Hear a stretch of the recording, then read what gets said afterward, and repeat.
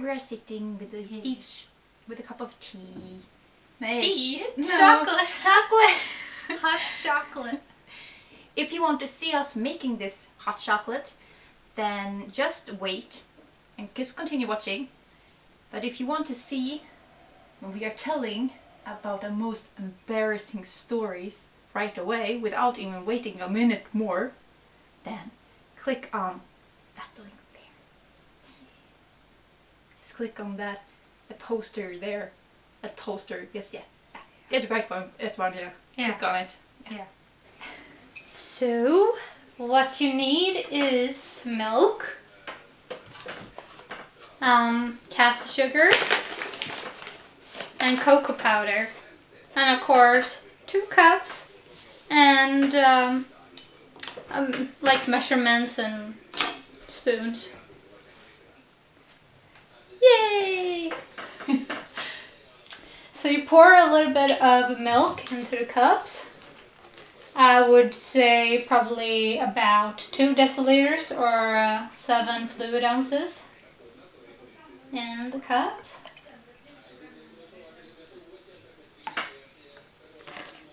That's maybe right. and then you use two tablespoons of caster sugar.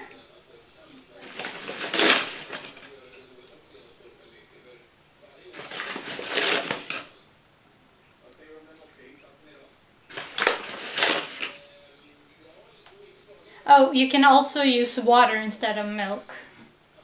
Just so you know. But milk is good for you.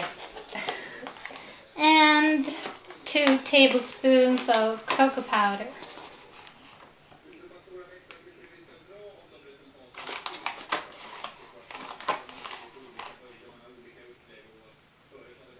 Oh, look at that lovely cocoa powder texture on top.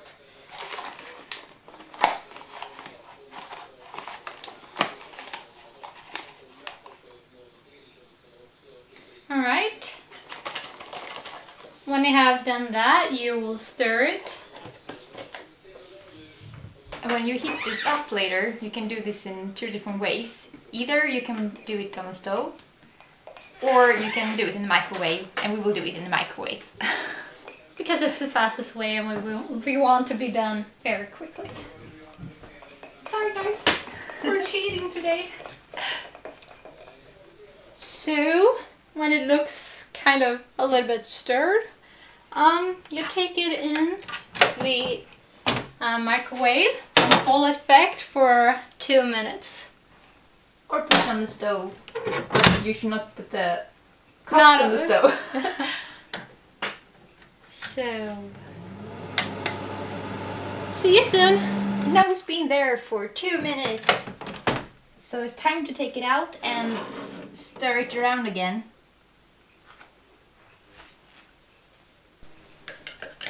Stir it around, stir it around. And then it's done. Yay! Now that wasn't too hard, was it? You can have whatever you want with uh, your hot chocolate, like whipped cream or mini marshmallows. But we're, we're just gonna have it just plain. La natural. Yeah. See you soon. Bye. Now that was yummy, wasn't it? And easy. Yeah. So easy and so yummy. So let's start with our embarrassing stories. Yeah. I've tried to like remember a lot of embarrassing stories, but um, embarrassing embarrassing stories happened all the time because my mom is kind of like if we are uh, in a store or something, she is not scared about saying things out loud like Emma, Emma, did you want those uh, period pads? They are right here. They are right here, Emma. So I have too many embarrassing stories to even remembering them. So I only have one embarrassing story to re- really tell.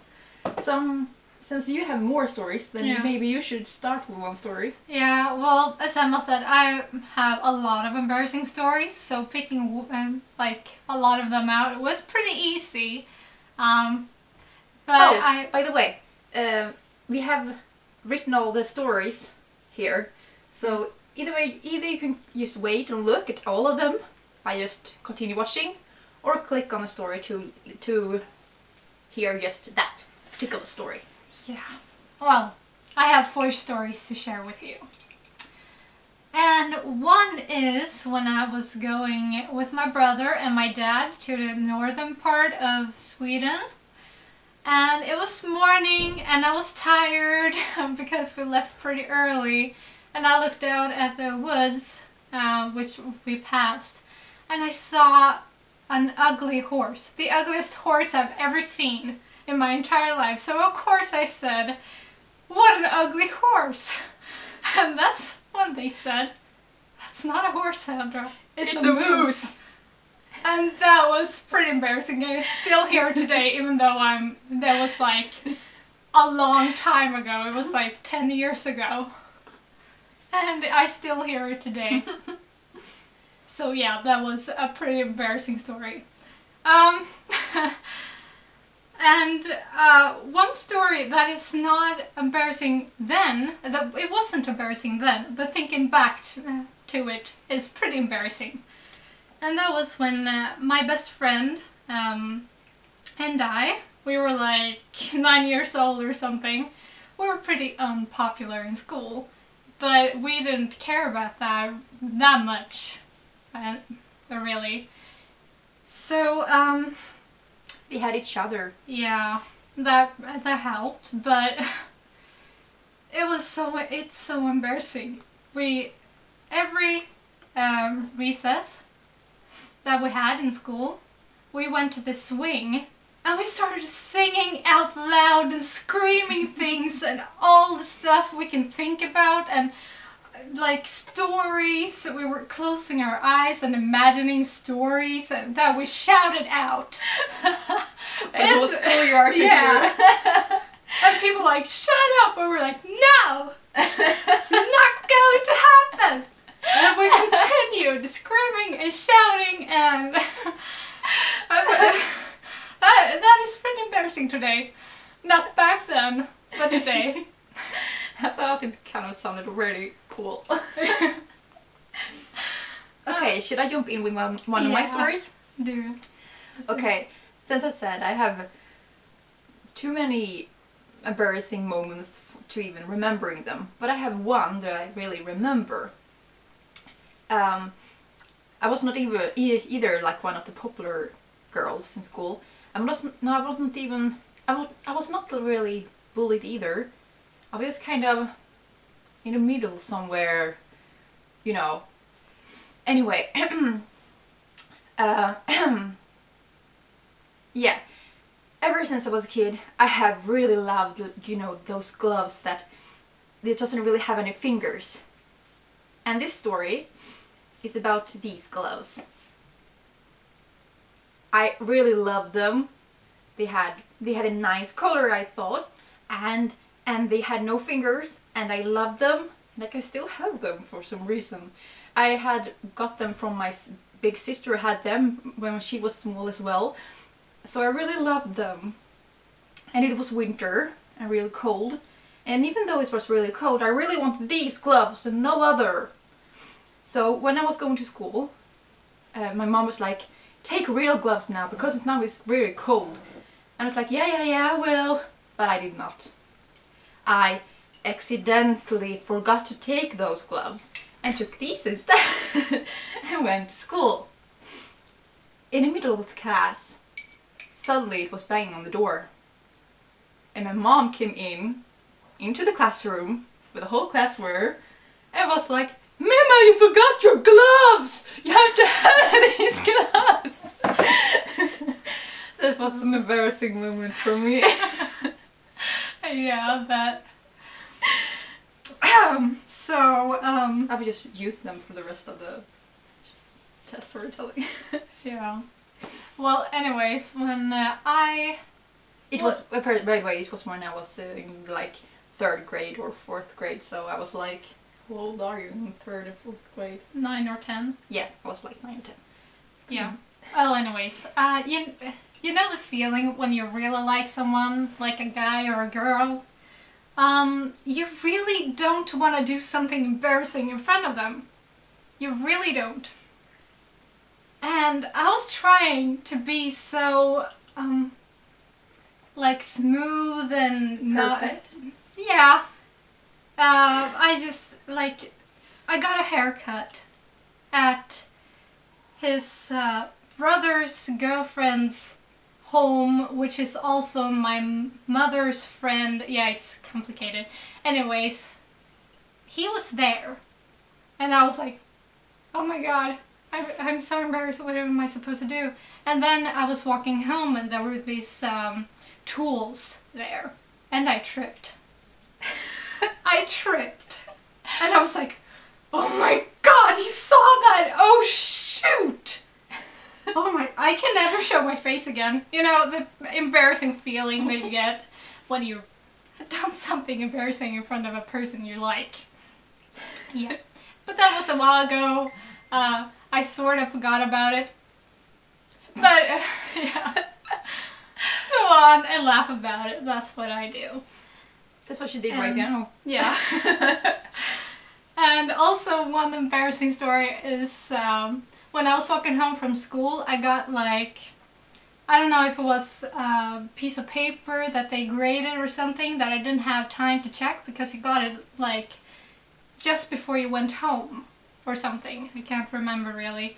But anyways, I was reading those and then I walked straight into a lamppost. and I was like, did someone see that? Okay, good. And moved on. and I mean, I've done it several times. I mean, not really just that one time. It happened one time too when I didn't have something in front of my face. I just walked straight into a lamppost. At that time, it was a little bit worse because there was pe- there were people around saying that, and they were looking at me like I was a, some sort of an idiot. that might have been true. I mean, I didn't have anything in front of my face, so I should have seen the lamppost in front of me, but I didn't. yeah, those are my embarrassing stories. I hope you like them. Um, And then you can laugh, uh, laugh with us. yeah, and add us whatever. Um, do you have any embarrassing stories you want to share? Just write a comment in below. We want to read all your stories. Yeah, so we won't feel less alone. Yeah. Yeah, but this is it. So we- we'll see you soon. Bye.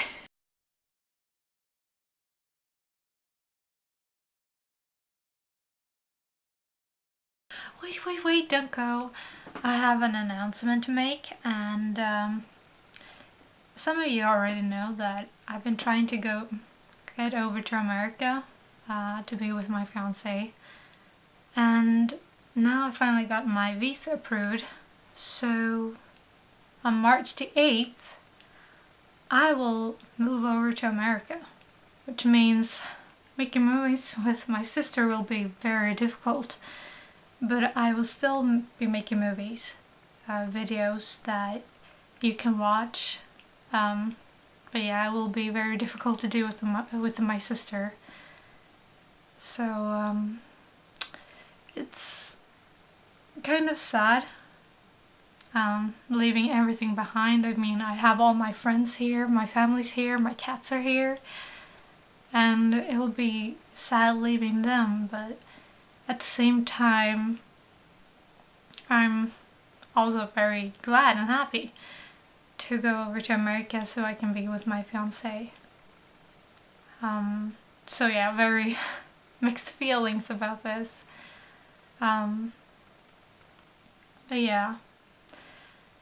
So that was my announcement. So I hope you like this video and um, comment and and like. Um, yeah. Bye.